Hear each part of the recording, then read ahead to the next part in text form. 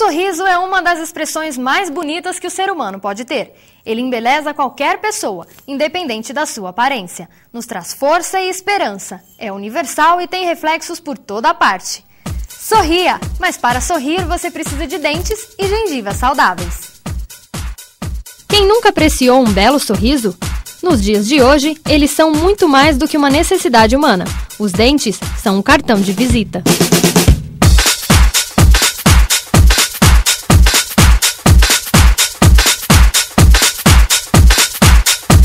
Dente é uma estrutura dura, saliente e esbranquiçada, composta por polpa, dentina e esmalte, que é implantada no maxilar e na mandíbula. Foi usado primariamente para digestão mecânica de partículas de alimentos, preparando-as para serem engolidas.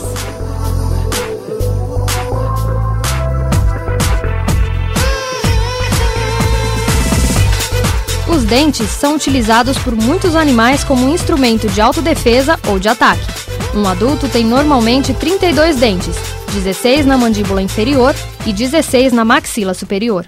O dente basicamente é composto de estruturas duras, mineralizadas, e quase que todo ele é de estrutura dura. Tá? É como se fosse um osso um pouquinho mais rígido, principalmente no que se refere ao esmalte. Depois vem a dentina, que é um pouquinho mais macia, e depois então os tecidos vivos, que, são o, que é a polpa, o complexo pulpar, que é composto por um feixe vásculo nervoso. A importância dos dentes na vida do ser humano é inquestionável. Ela está intimamente relacionada à saúde da fala e da respiração, além de contribuir de forma positiva ou negativa na vida social. Com a boca e com os dentes a gente se alimenta, eh, a gente, os dentes também participam da fonação também participam de respiração e etc. e da composição facial. Então, hoje, na sociedade que a gente vive, em que o culto ao belo é uma coisa absolutamente imprescindível, eh, eu diria que os dentes transcendem a coisa de mastigação, de saúde, etc. Eles passam agora a fazer parte da apresentação do indivíduo, que pode valer um emprego, que pode valer um relacionamento social amoroso, alguma coisa do tipo. Então, os dentes independente de servirem para manter a vida, mantém a alegria da vida.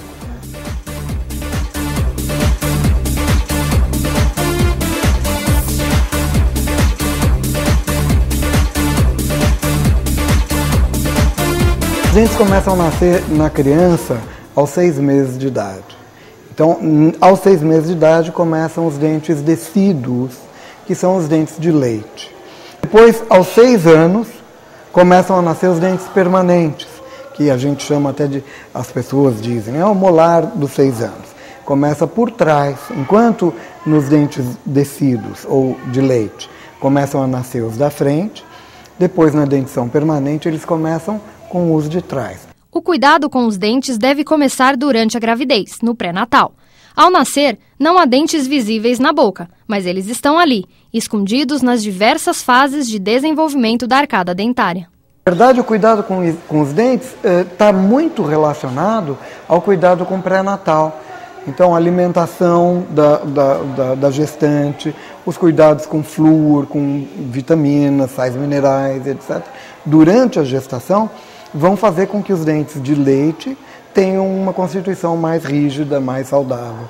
Então, desde que engravidou, a gente pode considerar que já existe uma preocupação com aquele serzinho humano que está sendo gerado em relação a toda a constituição dele e quanto aos dentes também.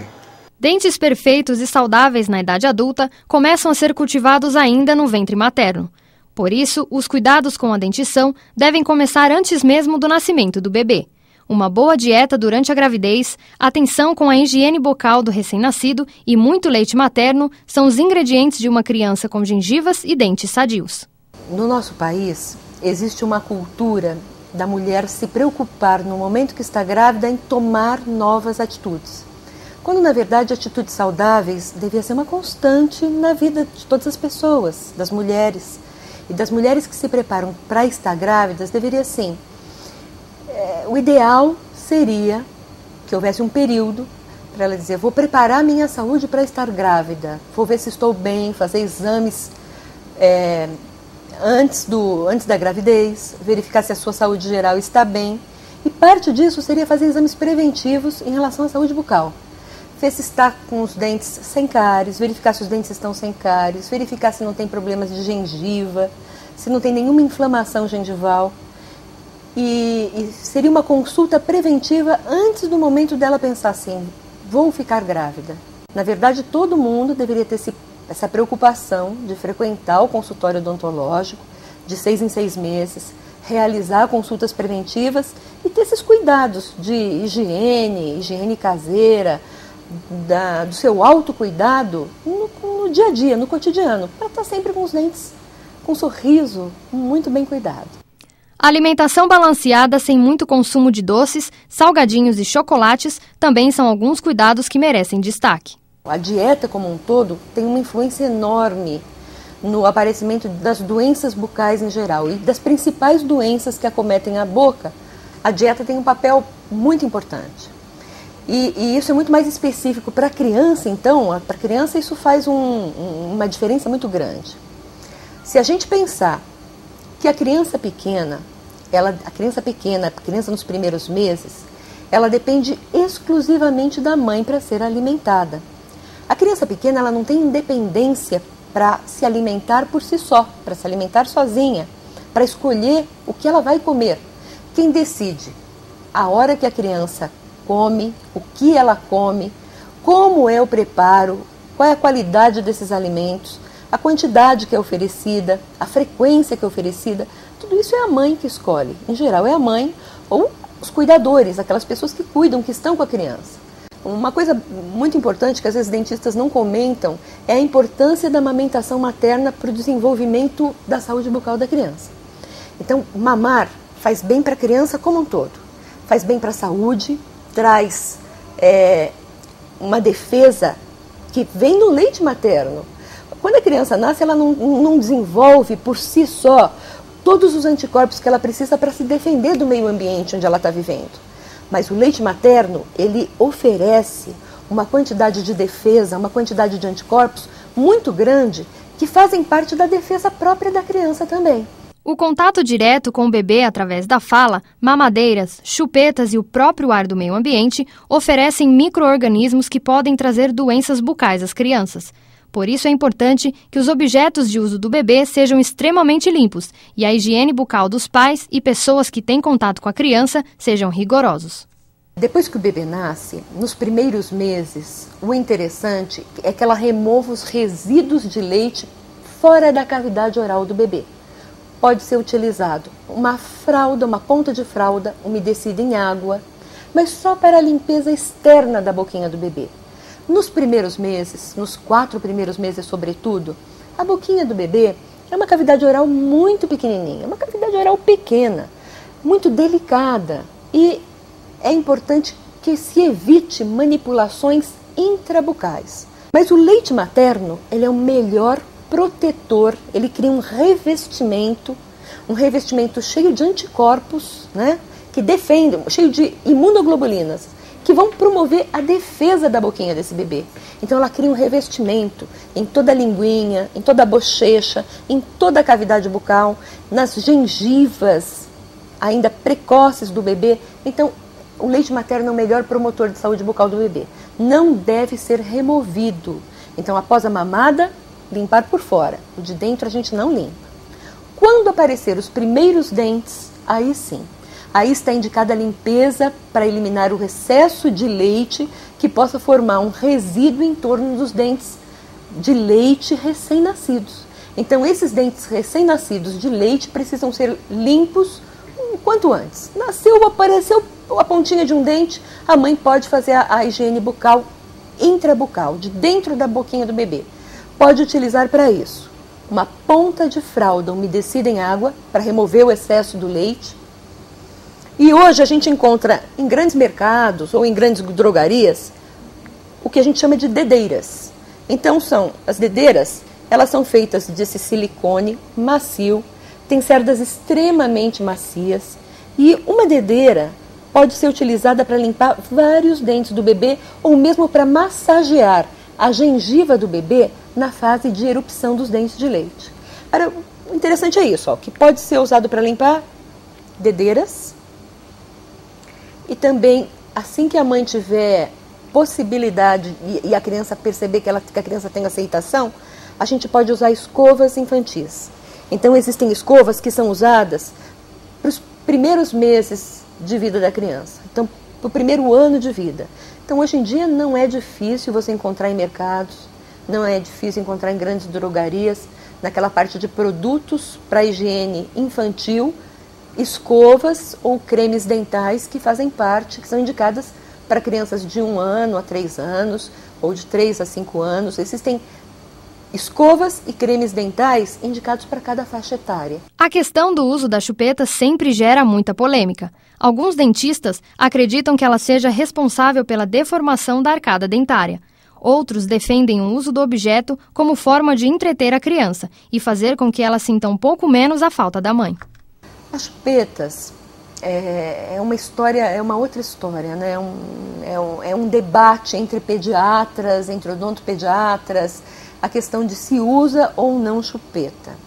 É, se você for pegar as pesquisas que estão na literatura, existe um grande debate para isso. E nos últimos anos, a, a, chupeta e a mamadeira têm sido cada vez mais contestadas. O, o que eu acredito é que existe um contexto social onde a criança pode ser beneficiada ou pode ser prejudicada pelo uso da chupeta e da mamadeira. A chupeta, às vezes, é um aliado da mãe para complementar a necessidade de sugar que todo bebê humano tem no primeiro ano de vida. Então, aquela fase oral, ele tem necessidade de sugar. Então, ele precisa complementar a sucção, a sua necessidade de sugar, o exercício de sugar com chupeta interessante é que a mãe ofereça a chupeta para a criança no momento que a criança está irritada, que ela está sonolenta, que ela está chorosa. Então, põe a chupeta na boquinha da criança e coloca na cama para dormir. A criança acabou de dormir, adormeceu. A mãe vai com cuidado, retira lentamente, com delicadeza, a chupeta da boca da criança, para que a criança então possa dormir sem a chupeta na boca. A doença que mais leva as crianças pela primeira vez ao dentista ainda são as cáries. Segundo pesquisas, nos últimos anos houve um declínio considerável no número de jovens com o problema. Mesmo com essa diminuição, a dentista adverte os perigos da cárie na infância. Mas ainda existem muitos grupos de crianças que têm, estão expostas a, a um risco maior de cárie e, e que ainda não e ainda realmente é, são acometidas pela doença, às vezes de uma forma muito grave. Então, uma das, das manifestações da cárie mais precoce é a cárie associada ao aleitamento noturno. Então, quando a, a mãe oferece para a criança pequena leite durante a noite, no meio da noite, então a criança chorou, a mãe prepara uma mamadeira na maioria das vezes com conteúdo açucarado. Então é leite, leite com achocolatado, leite com farináceo, leite com açúcar. E a mãe prepara uma mamadeira açucarada e leva no bercinho para a criança mamar, para ela adormecer. Só que a criança mama, adormece e guarda na boca um resíduo de leite açucarado. O que as mães devem fazer? Evitar. Isso não pode acontecer. O, a última mamadeira oferecida antes de dormir deve ser seguida de uma excelente escovação. Então, após as refeições principais, a mãe deve construir o hábito de escovar os dentes, mesmo da criança pequenininha. Mamou, as mães em geral, crianças pequenas jantam e antes de dormir as mães oferecem uma mamadeira. Após essa última mamadeira, as crianças devem receber do pai, da mãe ou de quem está cuidando uma excelente escovação. Escove os dentes da criança pelo menos três vezes ao dia, principalmente após o café da manhã e antes de ir dormir. Utilize uma escova macia indicada para a idade dela, para limpar dentes e gengivas. E nunca se esqueça: o dentista é seu parceiro. Faça um check-up de seis em seis meses. Então, quanto antes, no primeiro ano de vida, no nascer dos dentes da criança, a mãe deve levar a criança ao dentista para aprender como se escova os dentes, para aprender como controlar a dieta e os cuidados de dieta que ela deve ter com seu filho para que não tenha cárie. Então, o quanto antes, melhor.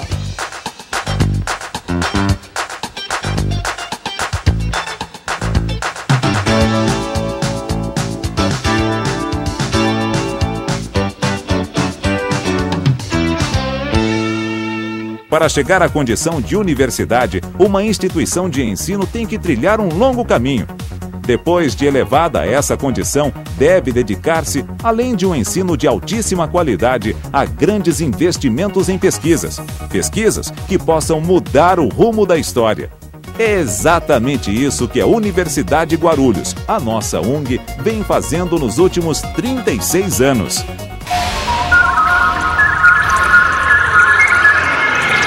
UNG, sua universidade, sua carreira.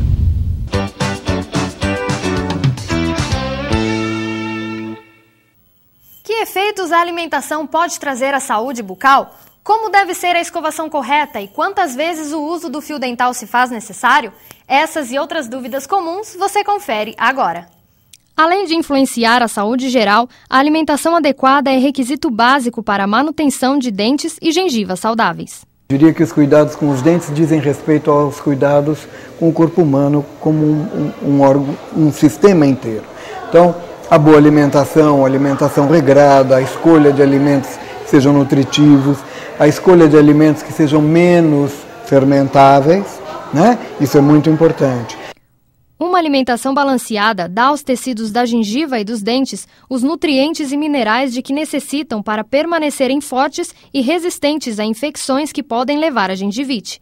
Além disso, os alimentos fibrosos, como verduras e frutas, ajudam na limpeza, e os alimentos moles e pegajosos tendem a ficar presos entre os dentes, produzindo mais placa bacteriana. Quando você consome alimentos e bebidas que contêm açúcar e amido, as bactérias da placa produzem ácidos que atacam seus dentes durante 20 minutos ou mais. Para reduzir o dano ao esmalte dos dentes, limite o consumo de alimentos e bebidas entre as principais refeições. E quando isso acontecer, escolha alimentos nutritivos, como queijo, verduras cruas, iogurte natural, frutas, cereais com leite e suco sem açúcar. Os avanços da medicina as pessoas conseguiram ter, viver mais tempo e com qualidade. Então hoje a gente tem uma longevidade maior, as pessoas têm 70, 80 anos e eventualmente com dentes na boca. O que acontece? É, assim como, como no, no, no recém-nascido, na criança, no adulto pleno, a higiene, a seleção de alimentos, uh, e os cuidados com o dentista devem ser tomados durante toda a vida.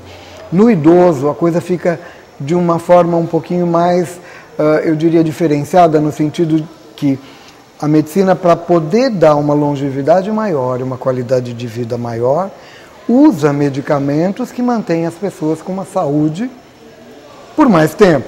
Para manter dentes saudáveis a vida toda, os cuidados com a higienização devem ser regrados e intensos. A ação correta dos dentes deve estar direcionada para a remoção de placa bacteriana. Então, a placa bacteriana é, é uma colônia de bactérias que se forma na superfície do dente e não só naquela área do dente em que a gente vê, mas também na região do dente que fica embaixo da gengiva. Entre o dente e, uh, e a gengiva existe um sulco, que é o sulco gengival. Dentro desse sulco gengival também acumulam bactérias e essas bactérias também são nocivas. Então a escovação deve ser de toda a coroa do dente, incluindo essa porção que fica subgengival. A escova ideal deve ser a escova que tem acesso à sua boca. Então, assim, a escova não deve ser muito dura para não ter o, o, o, o efeito de abrasão. A escova deve ser média ou macia, para que ela não machuque os tecidos gengivais e para que ela não tenha abrasão na estrutura dental. Tá? De uma forma geral, o mercado hoje é muito competitivo e as escovas têm mais ou menos a mesma característica e são todas elas, na maior parte, de boa qualidade. Tá? Então, a escova, o principal da escova, escolha uma escova que caiba na sua boca, que consiga escovar todos os cantinhos da sua boca. Essa é, acho que, é a orientação principal. Não adianta você fazer força para escovar. Você precisa ter o jeito para escovar. É a forma como você usa a escova e não a força que você implica em, em, na escovação. Então o que acontece? Se você faz muita força, você acaba ferindo a margem gengival, você pode ter um estímulo à retração gengival e você pode ter também abrasão do dente. Então, a escovação deve ser suave e eficiente, sem se colocar força. Na medida em que você faz a escovação sem muita força, é possível que ela dure um pouquinho mais, mas isso é muito pessoal, cada um tem um jeito e tem gente que gosta de ficar trocando toda hora. Tá, o que, que é importante na hora da escova? O que, que é, é legal que a gente observe? A escova deve estar protegida. Se você guarda ela no banheiro, guarde ela sequinha, guarde ela num lugar protegido, tá? Porque senão ela fica exposta ao ambiente e fica recebendo impurezas, pó, bactérias, etc. Você imagina, por exemplo, eh, a escova em cima da pia, as pessoas lavando a mão, aquele, aqueles, aquelas gotículas com sujeira em suspensão caindo em cima da escova. Aí você vai e dá descarga no vaso sanitário. Você não fechou a tampa do vaso sanitário e sobe um aerosol de impurezas, de bactérias, etc. Isso tudo vai cair em cima da sua escova. Então a escova tem que estar acondicionada ou estar protegida do meio ambiente e sequinha. Existem os antissépticos que realmente funcionam, mas na verdade eu diria que assim, existe uma indicação para isso, existe um porquê e quando e em quem usar, tá? Não é uma coisa que a gente deve sair comprando e usando, até porque na maior parte das vezes isso é meio medicamentoso, não tem muita necessidade. Porque todo o segredo da higiene bucal reside na mecânica da escovação e do uso do fio dental. Então não é uma coisa química, não é a química que vai deixar os seus dentes limpos. O que vai deixar os seus dentes limpos é a, a, o ato mecânico da escovação. Então, o, o que é ruim, ao meu ver, desse, dessas soluções que tem no mercado, é que às vezes as pessoas fazem uso dessas soluções antes da escovação, por exemplo, e como existe um sabor que lembra limpeza ou que induz a, uma sensação de limpeza, a pessoa se satisfaz com o sabor e esquece de escovar direito, deixa a escova de lado ou abrevia o tempo da escovação. A escova tem acesso às faces, principalmente as faces que estão de frente para ela. Quer dizer, o meio dos dentes, entre um dente e outro, não tem acesso às cerdas da escova dental. Então, ela consegue entrar até um limite, depois ela não consegue mais. Depois desse limite, quem vai ajudar é o fio dental.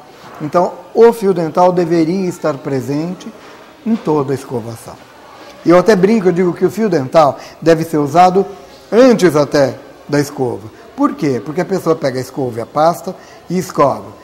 A mesma coisa que eu disse das soluções uh, de uso oral, a, a pasta ou as pastas hoje têm um sabor agradável, que dão a sensação de limpeza.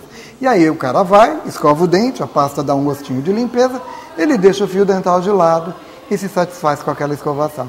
E ela não é plena, ela não serve para remover tudo que precisa. Então, é assim, acho que é até mais legal. Você usa o fio antes e aí depois você escova. Porque, uma, porque você não fica com a falsa sensação de que está limpo antes de estar realmente. E outra, que você não esquece do fio, porque ele vem sempre antes. E tem aquela coisa de, ai, esqueci do fio, mas aí você já escovou e vai embora e esquece de fazer. Né? Doutor Sérgio nos conta como fazer para ensinar as crianças a importância de uma escovação diária e correta. Eu acho que uma forma legal é, é você entrar no mundo da criança. Eu acho que tudo com a criança a gente precisa descer né, do degrau, do patamar de adulto da gente e voltar ao mundo da criança, chegar ao mundo onde ela tem a compreensão. Então eu acho que é legal você ilustrar, dizer que tem bichinho, que esse bichinho pode machucar o dentinho dela, que o dentinho vai ficar feio, que depois ela vai ficar com mau hálito. Sabe, sempre configurações, usando bichinhos, usando coisas que ela possa entender. Não adianta você ensinar uma técnica de escovação para uma criança, porque ela não sabe nem para que serve. Tá, agora, você criar o hábito da escovação é importante, você fazer ela sentir que aquilo é saudável e que vai manter os bichinhos fora da boca e que ela vai ter mais saúde por causa disso, que os dentinhos vão ficar mais bonitos, é muito mais interessante. Na maioria das vezes, as pessoas escovam os dentes de maneira incorreta. além de não contribuir para uma higienização satisfatória, ainda pode causar ferimentos na gengiva. Você olhar direitinho, nesse modelo, que é um modelo ilustrativo, você vê que tem os dentinhos, tem a gengiva e existe um sulco entre gengiva e dente. Isso é o que acontece na boca das pessoas. Todo mundo tem esse sulco. Alguns um pouquinho mais profundo, outros um pouquinho mais rasos. Mas existe esse sulco em todos os dentes, ao redor de todos os dentes. E no interior desse sulco também se, vão se agregando bactérias, existe placa bacteriana e precisa remover. Então, como é legal a gente usar a escova? Eu acho que é assim, legal usar a escova, você dividindo a boca em grupos de dois ou de três dentes, tá? E ao invés de você pegar e fazer uma escovação horizontal, tá? Você fazer uma escovação circular, se limitando a esse grupo de dois ou três dentes que você selecionou. Então você vai à escova com as cerdas inclinadas para a gengiva em 45 graus, em movimentos circulares, curtos e contínuos. E aí você vai, escova esse grupo de dentes que você selecionou, passa para o outro grupo de dentes que você selecionou, e assim você vai indo. Tá? Faz toda a parte externa, a parte onde os dentes possuem a, a, a, a plataforma de mastigação e na, na parte interna também. Quando chega aqui na frente, não adianta você querer entrar com a escova assim. Ela não faz a curva. Tá? Então, na região anterior, nos dentes inferiores e nos dentes superiores, a escova, a escova entra de pé. Tá? Praticamente escovando de dente a dente. E é legal que a gente sinta as cerdas da escova entrando no sulco gengival para poder limpar. Então, se eu, tô, se eu preciso sentir essas cerdas entrar no sulco gengival, significa que eu tenho que sentir que eu estou realmente limpando, mas que eu não estou me machucando. Então eu não vou usar uma escova dura e eu não vou fazer força. Porque não é, não é a dureza da escova ou a força que eu vou imprimir nessa escova que vai limpar. É a forma como eu vou usar. Tá? Então, embaixo assim, em cima a mesma coisa. A escova quando entra aqui na frente, é praticamente dente a dente. Tá? E sempre em grupos de dois ou três dentes, que fica mais fácil. O legal é que a gente tenha o hábito de ter uma sequência lógica, porque aí você nunca esquece, você não pula nenhum lado. Então, muitas vezes as pessoas não conseguem escovar os últimos dentes. Por quê? Porque quando você abre, aqui está a bochecha. Quando você abre a boca, a bochecha se estica e se fecha. Então ela impede que a escova entre, entre nesse espaço. Então a dica qual é? Fecha a boca, que a bochecha vai ficar frouxinha, tá? E aí ela permite que a sua escova entre até lá atrás. A língua é, é como um, um tecido de veludo, assim, cheio de papilinha. E no meio dessas papilinhas se acumulam bactérias e eventualmente restos alimentares, micro, né? Então, é legal que se escove a língua. Existem limpadores de língua específicos para isso, que é interessante que seja usado. Tá? Mas essa escovação plena, total, completa, tem que ser pelo menos antes de dormir. Então, quando a gente dorme, uh, o fluxo salivar diminui, diminui também esse efeito da saliva para ajudar na limpeza. Tá? Então, na hora de dormir, é a hora que a gente tem que limpar e não mexer mais. Não tem essa de escovar o dente, passar o fio e aí vai tomar um copo de leite, ou vai tomar um copo de leite com chocolate ou qualquer coisa do tipo. Aí vai dormir e não mexe mais.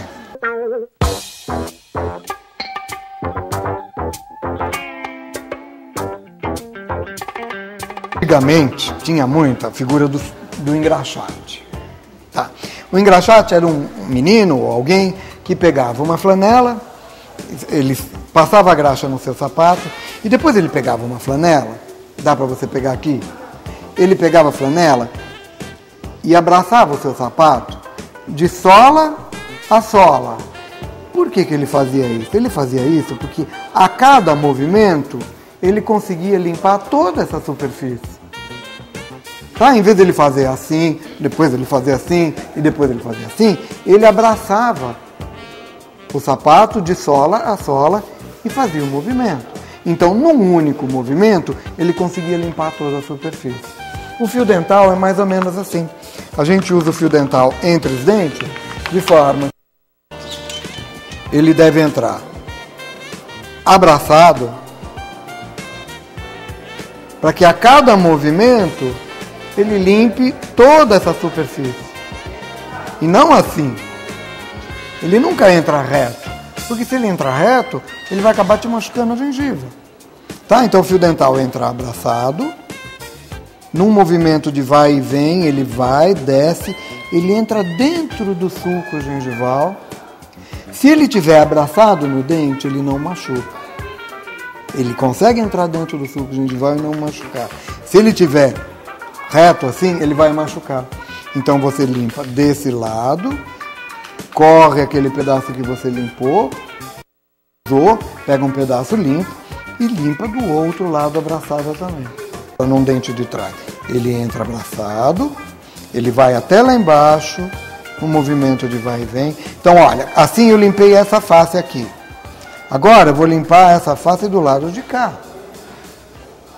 Tá? Mas sempre indo até lá embaixo e voltando com ele.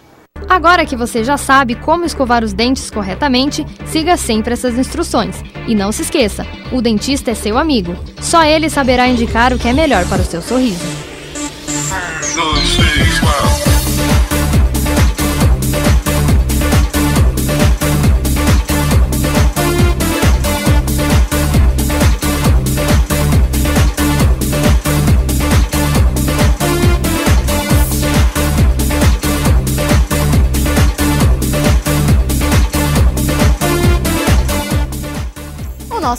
Programa fica por aqui. Semana que vem temos um novo encontro marcado. Até lá!